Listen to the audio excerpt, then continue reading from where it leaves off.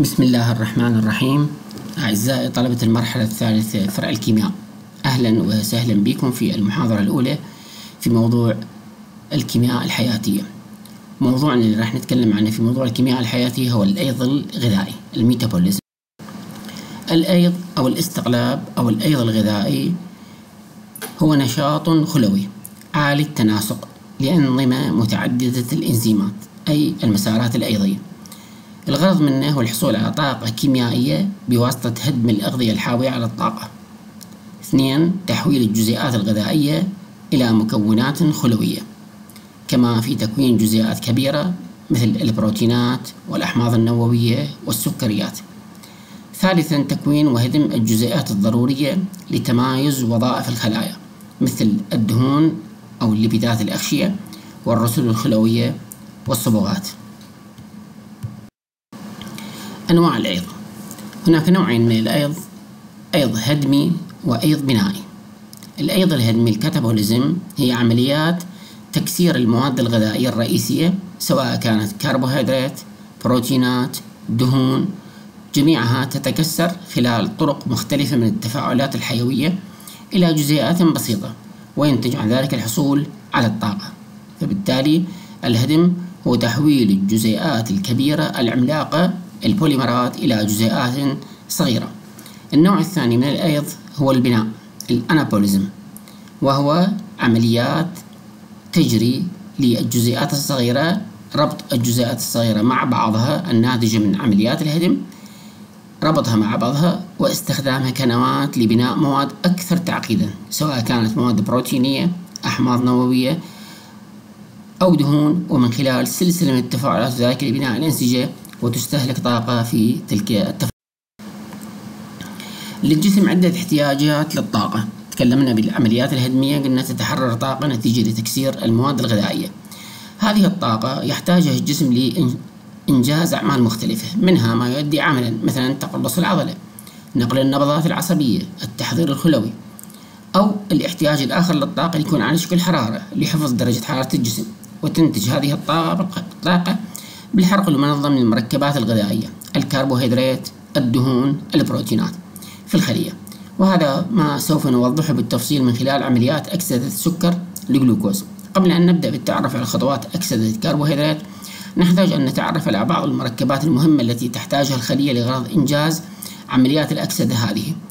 وواحد من هذه المركبات المهمة هو الجزيء عالية الطاقة الأدينوسين ثلاثي الفوسفات راح تمر بنا ومن خلال عمليات الأكسدة المختلفة اللي راح نتكلم عنها أكسدة سكر الجلوكوز بداية اللي هي تتضمن ضمن موضوع أكسدة آه، أو أيضا الكربوهيدرات راح يمر بنا مصطلح ال ATP اللي هي الأدينوسين ثلاثي الفوسفات ويجب أن نتعرف على هذه الجزيئة ومواصفاتها حتى تكون عندنا مفهومة عندما آه، تمر بنا بالمادة. وهذه الجزيئة تحتوي على أسيتين من الأكسجين.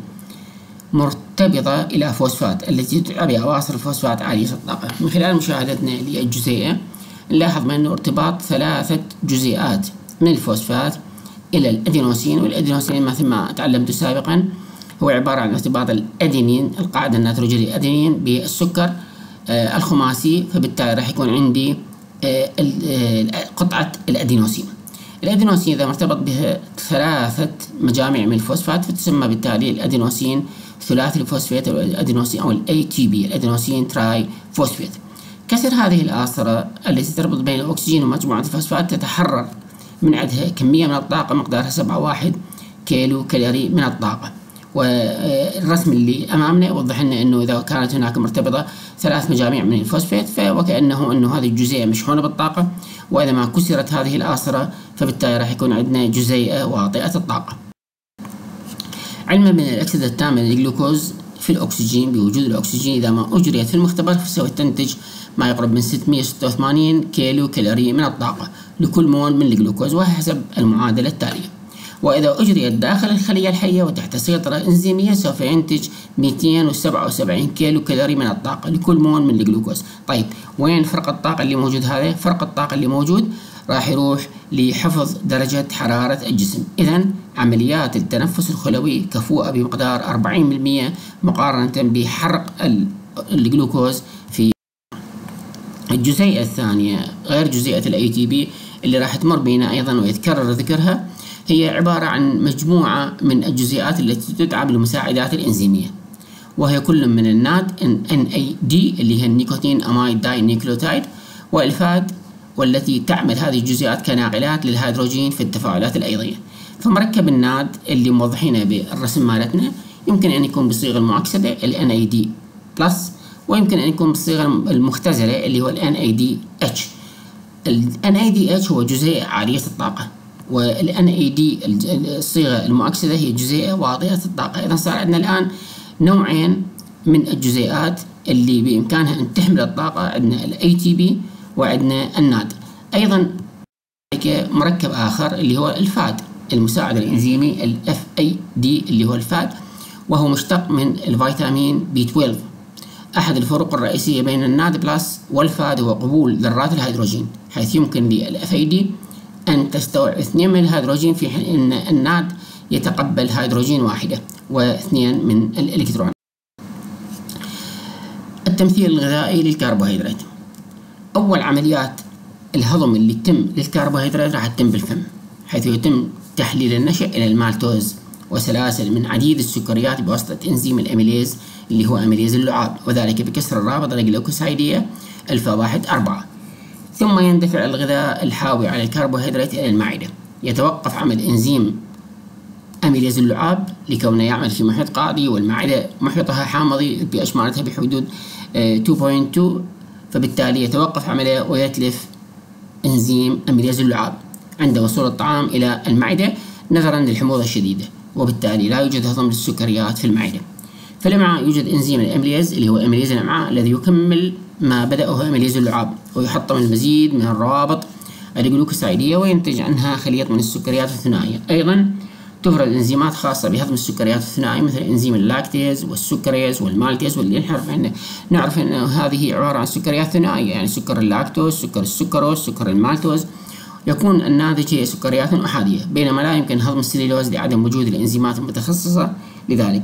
بينما في المجترات تستطيع المجترات حيوانات المجترات أن تهضم السليلوز لاحتوائها على إنزيم السليليز ثم يتم في الأمعاء امتصاص من في الأمعاء امتصاص السكريات الأحادية اللي يتم نقلها في الدم إلى الكبد ومن ثم إلى باقي الجسم. يتم النقل بواسطة الدم إلى الأنسجة المختلفة في الجسم فالجسم راح يستغل الجلوكوز المرحل إلى عن طريق الدم بطرق مختلفة. أول عملية يمكن أن يسويها والمهمة جدا بالنسبة للجسم هي أكسدة الجلوكوز لإنتاج الماء وثاني أكسيد الكربون والطاقة. عن طريق عملية تسمى بال glycolysis وراح نحفظها يجب أن هذه المصطلحات كلها مطلوبة من عندكم. عملية ال glycolysis هي عملية أكسدة الجلوكوز لإنتاج ال pyruvate جزيئتين من ال pyruvate وبالتالي راح ينتج لنا آه، الماء وثاني أكسيد الكربون في نهاية دورة كريبس. إذا عملية أكسدة الجلوكوز أو ال glycolysis هي عملية تحول الجلوكوز إلى جزيئتين من ال pyruvate. تحويل الجلوكوز إلى مكونات أخرى أهمية بيولوجية أيضا من العمليات اللي يمكن أن يستفاد منها أنسجة الجسم غير أكسدة الجلوكوز وغير يعني حرق الجلوكوز للحصول على الطاقة يمكن أن يحولون الجلوكوز إلى ال ribose وال deoxyribose اللي تستخدم لتصنيع الأحماض النووية والفركتوز اللي يدخل في تكوين السائل المنوي. أيضا يمكن للجسم أن يصنع حامض الجلوكويورونيك من سكر الجلوكوز في الكبد وهو هام للتفاعلات التي يتم فيها تحويل المواد السامة إلى مواد غير سامة واللي من ضمنها بقايا المواد الدوائية اللي نتناولها راح ترتبط مع glucuronic acid وتطرح عن طريق الإدرار إلى خارج الجسم. أيضا يمكن أن آه، يستغل الجسم الجلوكوز في تصنيع سكريات أمينية لصنع السكريات المخاطية.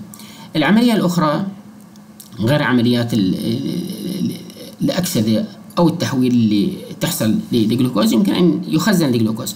ويتم تخزين الجلوكوز في الكبد والعضلات على هيئة الجلايكوجين أي أنه آه، راح يكون من عنده بوليمر اللي هو الجلايكوجين عبارة عن جزيئات من الجلوكوز مرتبطة الواحدة مع الأخرى بأواصر ألفا واحد أربعة والألفا واحد ستة بواسطة عملية تسمى بال glycogenesis ويتم تخزينه في الكبد والنسيج الشحمي أيضا على هيئة دهون متعادلة عن طريق عملية تسمى بال lipogenesis. إذا هسه صار عندنا ثلاث عمليات مهمة مرت بينا.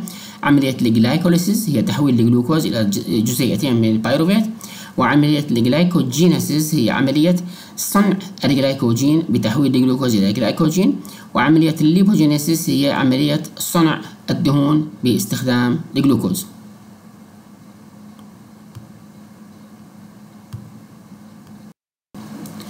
أيضا الجلوكوز يمر استقلاب أو أيضا الجلوكوز بعدة خطوات وهي كل من أولا التحلل السكري ال glycolysis اللي مرت بينا قبل شوي ثم دورة كريبس ثم سلسلة نقل الإلكترونات حين نحصل من عندها على الطاقة والناتج هو ماء وثاني أكسيد الكربون.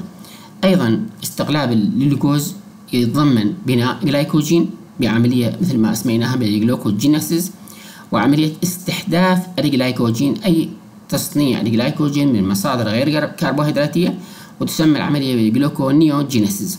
وأيضا عملية تحلل الجلايكوجين هي ال glycogenolysis مثل ما ذكرنا المصطلحات كلها مطلوبة من عندكم تعاريف لهذه التحلل السكري glycolysis ال glycolysis كلمة مشتقة من الإغريقية وال glyco بمعنى حلو أو سكر وال lysis بمعنى انشطار أو تحلل.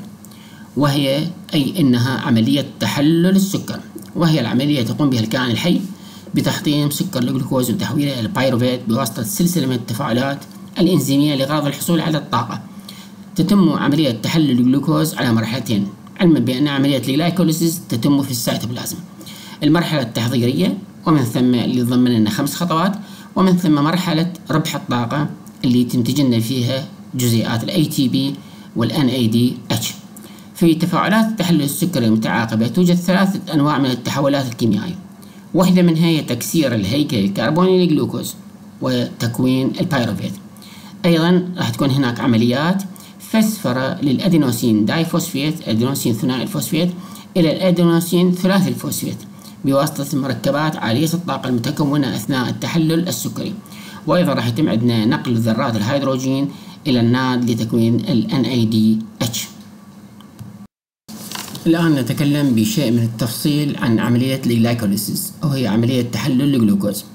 تتضمنها العملية عشر خطوات. خمسة منها هي خطوات تحضيرية وخمسة أخرى يتم فيها إنتاج الطاقة أو جزيئات الطاقة العالية الطاقة اللي هي ال ATP وال NADH لأن جسمنا لا يستطيع أن يتعامل مع الجلوكوز بصورة مباشرة لذلك يكسر الجلوكوز لينتج جزيئات ال ATP وال NADH هذه الجزيئات تمتلك مقدار من الطاقة ال NADH تمتلك مقدار من الطاقة يتم تحويلها بالنتيجة إلى جزيئات ال ATP اللي هي عملية آه، أو جزيء أو الصيغة المناسبة لخزن الطاقة للخلية اللي هي شكل ال ATP قبل أن نبدأ بالشرح خطوات العشرة يجب أن نتعرف على بعض اللاعبين الأساسيين في هاي العمليات العشرة وهي مجموعة من الإنزيمات. أول هذه الإنزيمات هي إنزيمات ال kinase. إنزيمات ال kinase أي تفاعل يتضمن إضافة مجموعة فوسفيت أو حذف مجموعة فوسفيت فاللي يقوم بهالعمليات هذه هو إنزيمات ال kinase. اللاعب الأساسي بهالعمل هذا قلنا هو إنزيم ال kinase ويسمى هذا الإنزيم وفقا للجزيء اللي يتم إضافة منها أو الحذف من عندها مثلا نقول hexokinase. hexokinase إنه هذا الإنزيم يقوم بإضافة مجموعة الفوسفيت إلى جزيئات السكر السداسية. أو نقول ال glucokinase أي أنه يضيف مجموعة الفسفور إلى سكر الجلوكوز. الإنزيم الآخر هو إنزيم ال isomerase جاءت هذه التسمية من ال isomer وال isomer مثل ما نعرف هو النظير.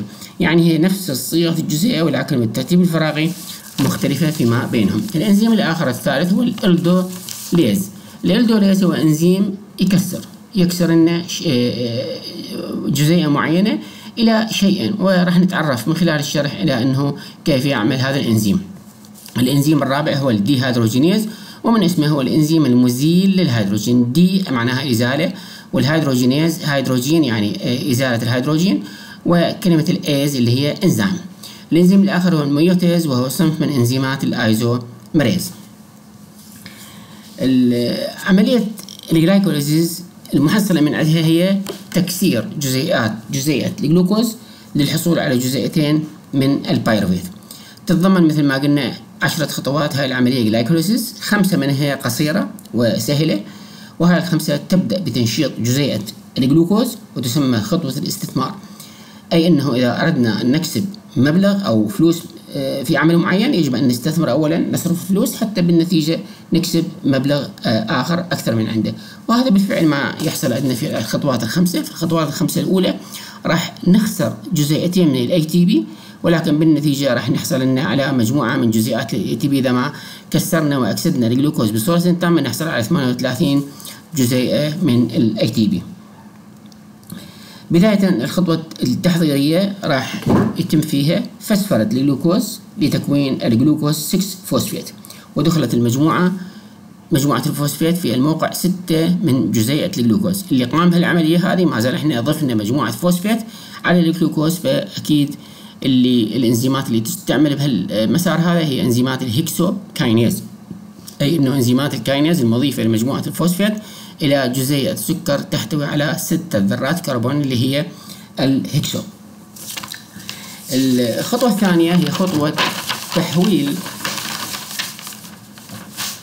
الجلوكوز 6 فوسفيت إلى الفركتوز 6 فوسفيت والفركتوز هو عبارة عن نظير للجلوكوز وبالتالي الإنزيمات اللي راح تعمل في هذه الحالة هو إنزيم ال phosphohexo isomerase أي إنزيمات التناظر اللي هي تحول لي شكل الجلوكوز 6 فوسفيت إلى الفركتوز 6 فوسفيت وفي هذه الحالة آه، فقط آه، الحالة بالخطوة رقم واحد راح يكون عندنا خسارة بال ATP، الخطوة الثانية ما بها خسارة، الخطوة الثالثة هو تحويل الفركتوز 6 فوسفيت إلى فركتوز 1 6 biphosphate أي أنه راح نضيف مجموعة فوسفيت أخرى إلى جزيئة الفركتوز راح نضيفها في الموقع واحد.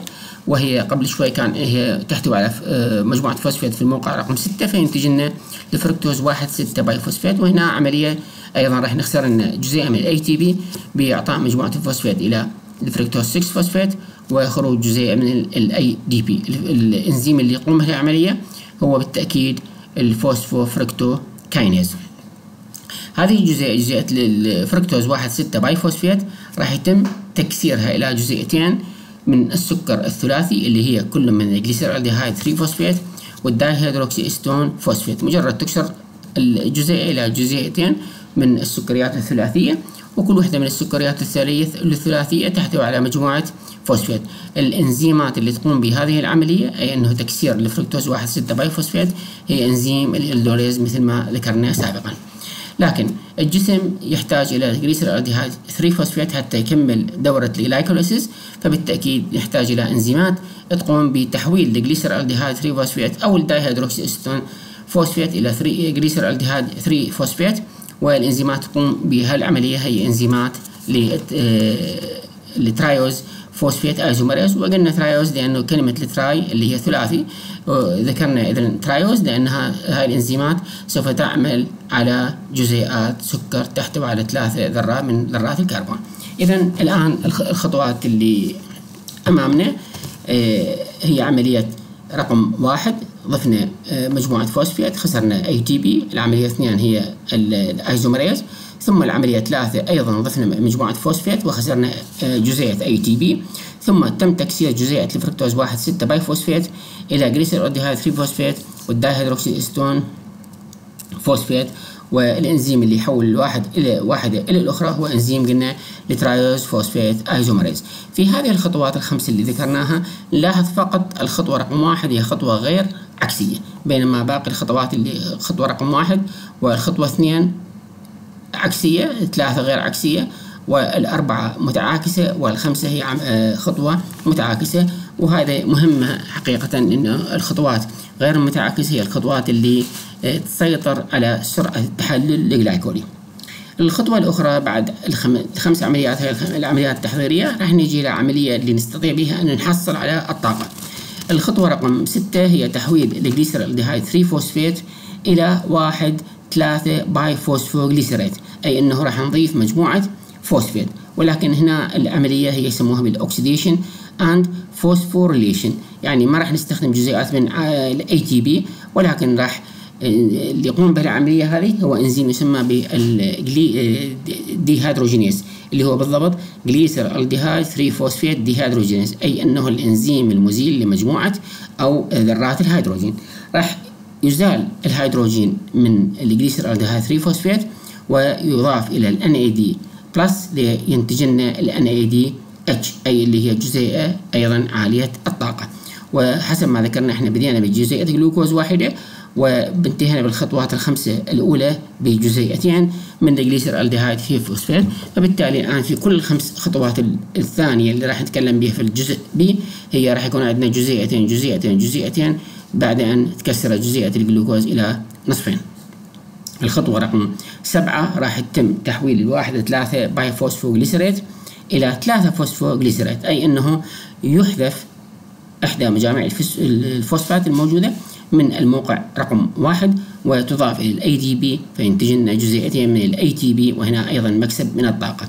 إذا صار عندنا في هاي الخطوات في الجزء B من الدورة راح يكون عندنا جزيئتين أنتج عندنا بالخطوة رقم ستة اثنين من ال NADH وفي الخطوة رقم سبعة أنتج لنا اثنين من ال ATP الخطوة رقم ثمانية هي راح تقوم بعملية تحويل ل 3 phosphoglycerate إلى 2 phosphoglycerate أي أنه هذه الجزيئة ولكي تتحطم وتنتج لنا ال pyruvate في وتستمر في طريقها يجب أن تحول إلى صيغة أخرى اللي هي يتم فيها نقل مجموعة الفوسفات من موقع ثلاثة إلى الموقع اثنين واللي يقوم بهذه العملية هي إنزيمات ال mutase اللي قلناها هي عبارة عن إنزيمات صنف من إنزيمات ال isomer ال isomerase الخطوة الأخرى هي إنزيمات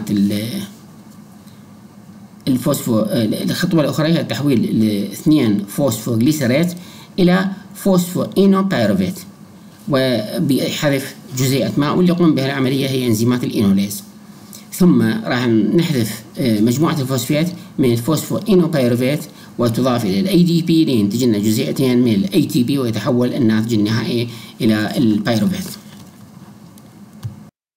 الآن نحسب محصلة الطاقة الناتجة من تحلل جزيء من الجلوكوز إلى جزيئتين من ال pyruvate في الخطوة رقم واحد كان هناك استهلاك لجزيء من ATP في الخطوة رقم ثلاثة كان هناك استهلاك لجزيء من ATP جزيء عالية الطاقة. في الخطوة الأخرى بالخطوة رقم ستة راح يكون إنتاج لجزيئتين من NADH باعتبار أن الجلوكوز انشطر إلى جزيئتين كل واحدة منهم تحتوي على ثلاث ذرات كربون.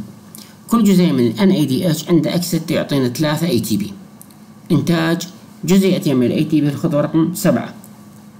باعتبار أن الجلوكوز انشطر إلى جزئين أيضا من ال glyceraldehyde 3 فوسفيت وكل جزيئة تعطينا وحدة من ال ATP أيضا راح يكون عندنا إنتاج لجزيئتين من ال ATP في الخطوة رقم 10 باعتبار وجود جزيئتين من ثلاثة phosphoenolpyruvate ليعطي كل منهما بوحدة من ال ATP إذا راح يصير عندنا المحصلة هي إنه خسارة رقم واحد خسارة جزيئة ثم خسارة جزيئة ثم ستة جزيئات إنتاج ثم جزيئة إنتاج ثم اثنين جزيئة إنتاج.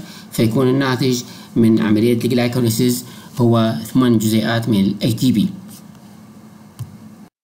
تنظيم عملية تحلل الجلوكوز. يلاحظ أن جميع المركبات الوسيطية بين الجلوكوز وال pyruvate هي مركبات مفسفرة أي أنها متأينة عند درجة حموضة الخلية مما يجعلها مشحونة بشحنة سالبة تمنعها من المرور آه، خلال الأغشية الخلوية لتظل وين في السيتوبلازم الخلية. أما ال pyruvate أو ال lactate المتكون يمكن أن يمر خلال الأغشية الخلوية فنظرا لعدم فسفرة ال pyruvate فإنه يمتلك القدرة على الانتقال من السيتوبلازم إلى الميتوكوندريا لتبدأ عملية الأكسدة الهوائية المسماة بدورة كريبس. يلاحظ يلاحظ أن جميع التفاعلات الإنزيمية في ال glycolysis هي تفاعلات عكسية. ما عدا ثلاثة تفاعلات غير عكسية هاي التفاعلات الثلاثة هي تفاعلات منظمة لعملية التحلل الجلايكولي وتسمى بالتفاعلات المحددة لمعدل التفاعل. وهي التفاعلات المنظمة تتم بواسطة الإنزيمات الهيكسوكاينيز والفوسفوفركتوكاينيز والبايروفيت كاينيز مصير البايروفيت البايروفيت المتكون نتيجة لأكسدة الجلوكوز إلى ثلاث مسالك في حالة توفر ظروف هوائية عن في حالة توفر الظروف الهوائية الإيروبيك راح يكون عندنا يتكون عندنا ال acetyl coenzyme A ويدخل لنا في دورة كريبس أما في حالة عدم وجود ظروف هوائية أو ال anaerobic راح يتحول ال pyruvate إلى ال lactate وفي تفاعل عكسي حقيقة. أو يتحول ال pyruvate كما في ال microorganism إلى إنتاج الإيثانول.